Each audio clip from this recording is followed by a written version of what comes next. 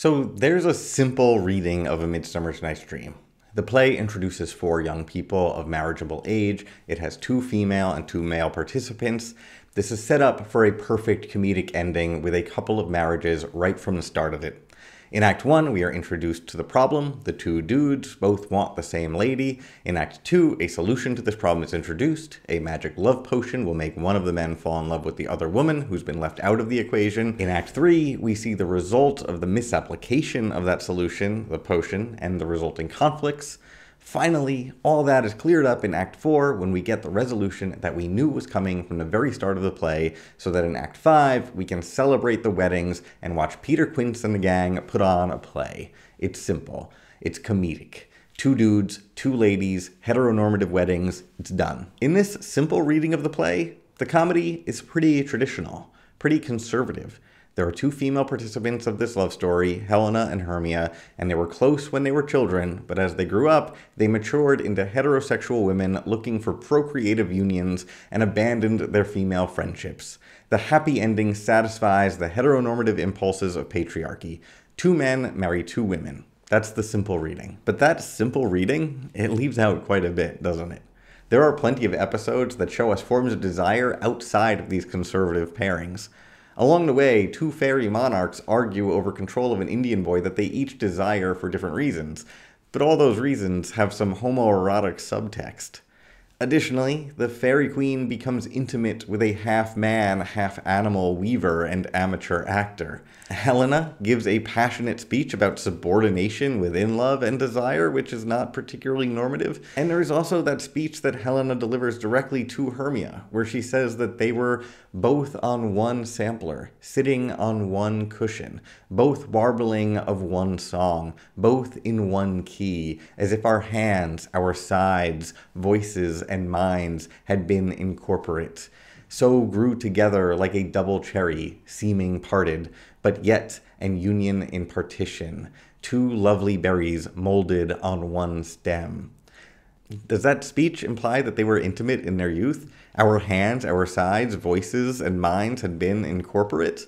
Is this describing a homoerotic act? Can we even discuss homoeroticism within a 16th century play without being anachronistic? Like, if the terms gay or bisexual didn't exist back then, what are the dangers of our mapping our modern terms for sexual desire onto the past? Does it even make sense to call the ending heteronormative as I did earlier? That's what we're going to talk about today. We're going to go through some of the queer readings of this play and hopefully find some answers to these questions and more.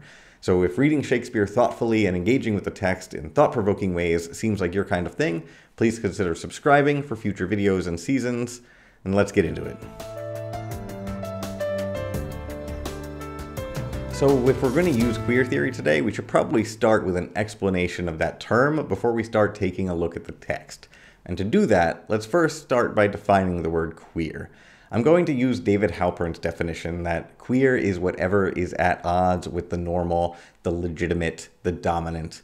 There is nothing in particular to which it necessarily refers, which means it's a fairly broad term. There is nothing in particular to which it necessarily refers, because it always refers to divergence from the dominant normative standard of a given population.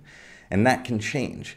If a community has marked a particular form of desire as morally superior or as having exclusive rights to the term natural, then anything that deviates from that particular form of desire is queer. The term queer theory has its origins in the 1990s, and its original use is typically credited to Teresa de Lauretis, who, in a 1991 essay, said that she chose the term to problematize some of the discursive constructions and constructed silences in the emergent field of gay and lesbian studies. In other words, she felt that there were forms of desire outside of the heterosexual versus homosexual binary, and that these forms of desire were being silenced in academic discourse. Anytime we construct a category of desire, or a category for anything, we are limiting its possibilities. So if we create the category heterosexuality, we include some forms of desire within that category, and other forms are going to be left out or go unspoken. Queer studies exist to challenge those categories and to demonstrate the insufficiencies of language to communicate something as varied and complex as sexual desire. In doing so, it expands and validates a larger behavior space for desire. So, what does this have to do with Shakespeare? To start, history is always fertile ground for this kind of study because it forces us to recognize how sexual desire has transformed over time what were once desirable traits or accepted practices no longer exist or are actively and intentionally avoided. And recognizing that forces reflection on the standards of our time period and the possibility that they might change in the future, that hardly anything is a given. Desire has taken many forms in the past and it will take many more in the future. Like, for example, the category homosexual did not exist when Shakespeare wrote his plays. He has characters that we might recognize as gay, Antonio in The Merchant of Venice, for example, but that term didn't exist. There is no early modern equivalent. When we use the word homosexual as a label for somebody, it comes loaded with a bunch of assumptions, and those assumptions may not accurately characterize Antonio in the play. There are no homosexuals in Shakespeare, and it's worth noting, and many have, that there are also no heterosexuals. These terms pathologize a set of actions, and the actions of early modern men and women don't fit neatly into those boxes created by those terms. They lived with different norms and different taboos. In the book Shakespeare and Queer Theory, Melissa Sanchez points out that two adult men sharing a bed, kissing, or embracing one another, or addressing one another with terms of endearment would have seemed unremarkable, customary behavior, not a sign of a specific sexual orientation. So Antonio's desire for Bassanio would not be shocking to an early modern audience. Like, you might have it in your head that it was illegal to be gay in Shakespeare's time, but that's a very confusing position. As I've said, there is no early modern equivalent for that term, so it could not be legislated against. There were laws against sodomy, that's true. But those laws included a diverse range of sexual behaviors. That term didn't have the same meaning 400 years ago, and as historian Bruce Smith has notably pointed out, those laws were very rarely enforced for the act that we now associate with that term. Like during the entire reigns of Elizabeth I and James VI, a law against sodomy in the way that we understand it was only enforced one time, and that was an issue of consent. We also live with the assumption that marriage is the most serious, most important instantiation of human partnership. In early modern England, though, the committed relationship between two male friends could easily be seen as more important. Like the giving of women between men is an important part of cementing male friendships and commitments. A father might give away his daughter, as Egeus tries to do in A Midsummer's Night's Dream, or a friend might help his companion find a woman, as Don Pedro does in Much Ado About Nothing. The marriage between a man and a woman could be a tool used to support a more important partnership between men. The assumptions we have about the institution of marriage and its importance within the social order may not hold when we travel back in time. But Shakespeare plays provide further areas of study for queer theorists beyond those historical investigations of desire. His plays often undermine norms, whatever they might be, both the norms of the time period and the ones that we live with today. For example, Measure for Measure investigates and disrupts the view that sexual purity should be linked to moral virtue. But perhaps the most interesting play for this kind of investigation is A Midsummer's Night's Dream. A Midsummer's Night's Dream is littered with moments that undermine or expose the policing of human desire as either impossible or cruel. The play shows us a few different types of ways the characters can attempt to control the sexual desires of others. Sometimes it's through authoritarian discipline and the threat of violence. Sometimes it's a magic potion.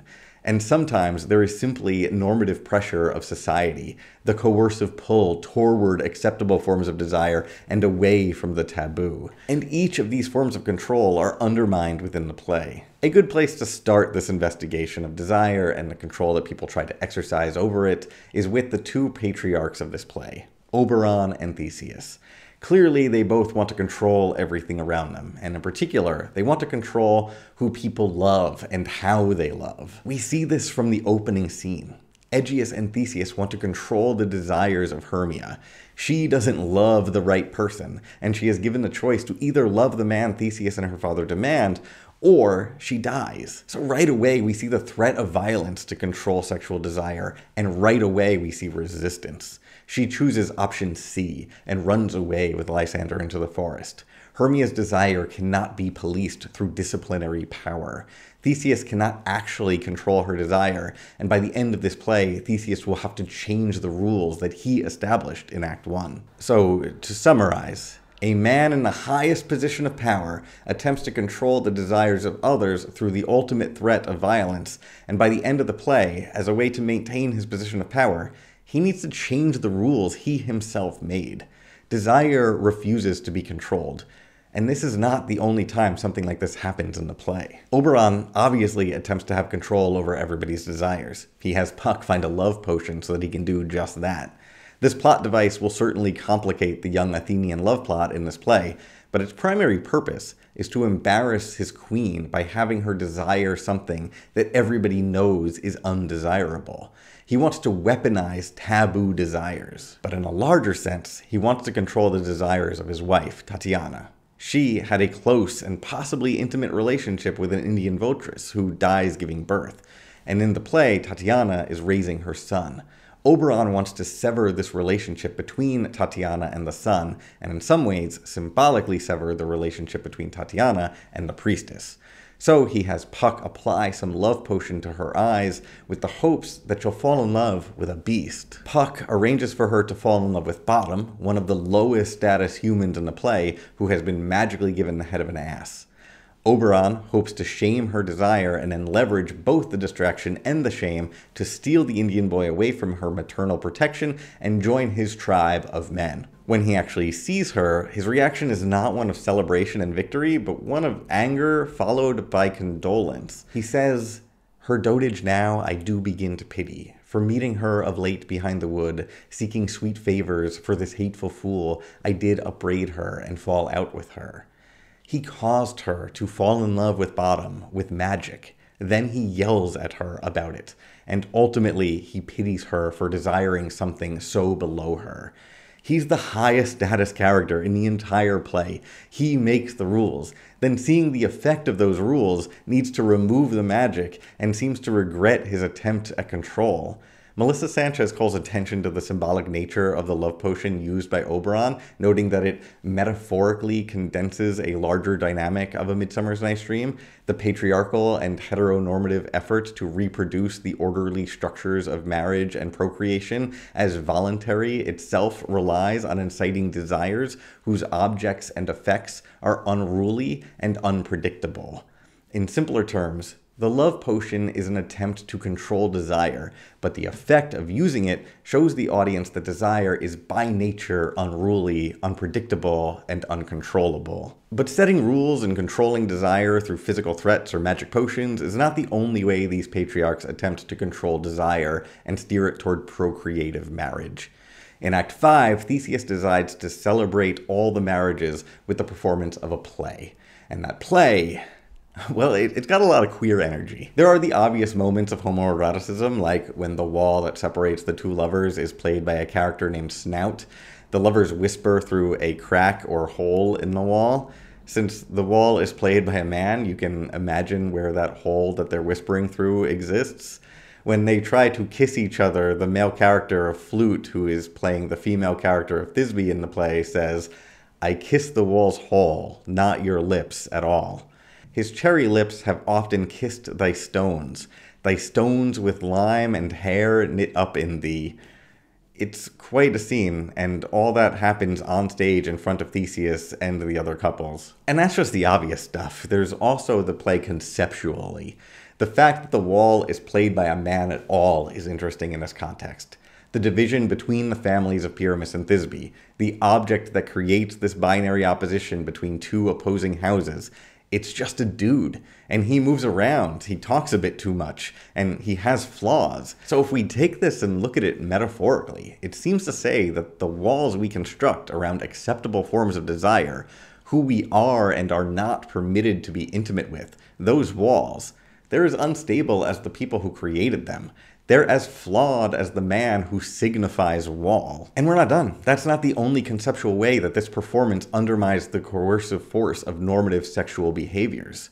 The play itself dissolves binary oppositions between acceptable forms of desire and taboo forms of desire by showing us the limits of the language that we use to form those binaries. The play, for example, is described as a tedious, brief scene of young Pyramus and his love, Thisbe, very tragical mirth. It's both tedious and brief, both tragical and filled with mirth, this play cannot be contained by the language that we use to describe it, in the same way that people do not fit neatly within the heterosexual or homosexual identities. This play cannot be described within the tragedy comedy binary. So, in a lot of ways, this play is showing the obstacles to authoritarian control over human sexuality. It's got homoeroticism, it's got movable boundaries, it's showing us the insufficiency of language. And confronted with these obstacles through this play, Theseus attempts to distance his tribe from the tribe of the mechanicals performing the play by making fun of them. The play has queer energy, and by mocking the play, he can instruct his court to avoid the behaviors that they see. In other words, the marriages at the end of this play legitimize themselves by dismissing the world of the rude players. Kirk Quinsland notes that this last scene in A Midsummer's Night's Dream reminds its audience that social constructions of heterosexuality rely on a repudiation of what heterosexuality constructs as its other. In short, the court relies on rejecting the mechanicals and their play as a means of constructing its own heterosexuality and its own aesthetic superiority. Theseus here is trying to create the taboos that will guide his community. It's an attempt to get his community to police themselves. If they ever find themselves acting like the players, then, Theseus implies, the best that they can ever be is shadows. And of course, there are the always already present taboos of desire in the play, and we can see those play out through the characters of Hermia and Helena. Hermia throws off the control of her father and her sovereign when she decides to escape into the forest with Lysander. But when it's time to go to sleep, she insists that her and Lysander sleep apart. She fears intimacy with him and it would be impossible to name what that fear is. It could be that she fears for her reputation, and she wants to preserve the purity standard for women as she preserves her privileged position within it. It could be that she's simply afraid of having sex with a man. It's impossible to know. But we do know that she didn't fear intimacy with Helena when they were younger. When they escaped to the woods in their youth, their sides were incorporate.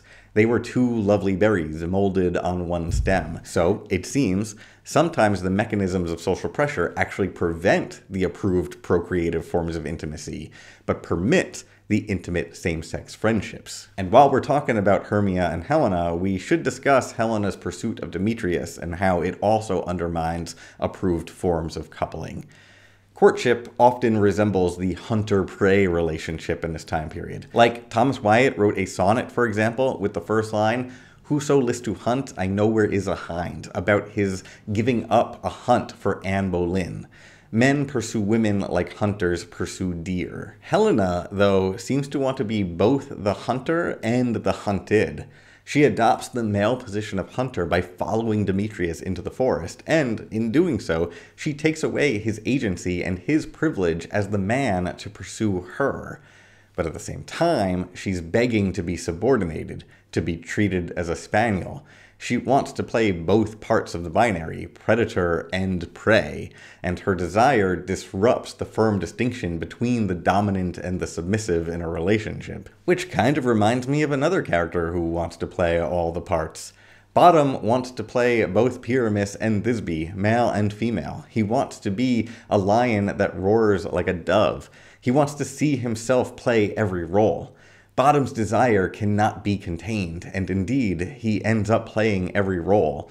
He's a man, he's a beast, he's a weaver, an actor, a sexual partner to the Queen of Fairies. He's both waited on by magical creatures, and he's made fun of by the fancy people at court. He sees behind and transcends all the hierarchies of power and control in this play. His presence dissolves the acceptable boundaries of desire. And so it's notable that he cannot explain his experience. His inability to articulate his dream at the end of Act 4 is an inability to put language to the complexity of human desire. And considering Bottom's transformation in the play, we cannot leave this essay without taking some time to discuss one of the queer heroes of this play, Robin Goodfellow, Puck. He is the agent of male patriarchal authority under Oberon's direction, but in that role, he's mischievous and an agent of chaos rather than stability. As he says, those things do best please him are those that befall preposterously. Oberon tries to use him to control human desire, to have Titania fall for a beast, to make Demetrius fall for Helena, but Puck is either unreliable or playfully disobedient. No one tells him to play his game with Bottom. That wasn't in the instructions. And when Oberon gives him a simple task to achieve a simple solution to the Athenian love triangle, he ends up creating more chaos by applying the potion to the wrong person's eyes. Puck is an intermediary between those in power and those that the power seeks to control. And in that role as intermediary, he chooses chaos. Whereas Oberon wants to control what people desire, Puck takes a voyeuristic and borderline sadistic pleasure in the passion of others and the illogical or foolish behavior that flows from desire. There is joy when he says, Lord, what fools these mortals be. Douglas E. Green, while defending his position that Puck is the queer hero of this play, explains that Puck is the energy of desire itself, whatever its content. Though at Oberon's service, he is an energy that cannot be fully contained within power's totalizing aims. His pleasures work against or at least inflect ideological constraints on desire, the very constraints he has been sent to enforce. Puck is the very possibility of the perverse operating within yet against constraints, of pleasures beyond such constraints. Puck, in other words, is queer protest within normative structures embodied. So many elements of this play expose the impossibility of policing human desire, and Puck seems to delight in that impossibility.